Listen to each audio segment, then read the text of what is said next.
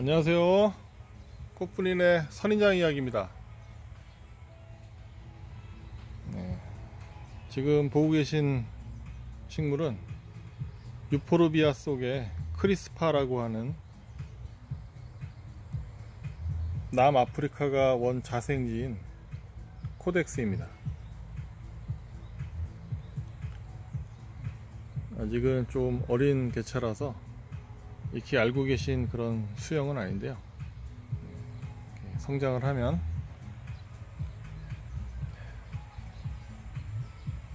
이렇게 이 궤근이 갈라져서 꼭 가지 형태의 모양을 띠고 있으면서 이렇게 사방으로 퍼져나가는 그런 멋진 모습을 하고 있습니다. 그리고 네.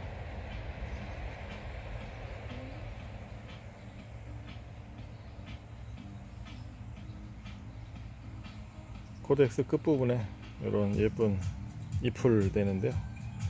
이 원자생지에서는 이 궤근의 이 상단 부위 정도까지는 예, 땅에 묻혀서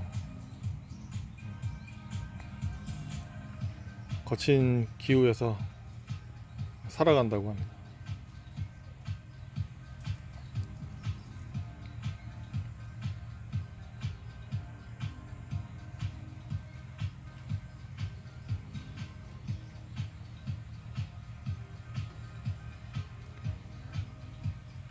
유포르비아 크리스파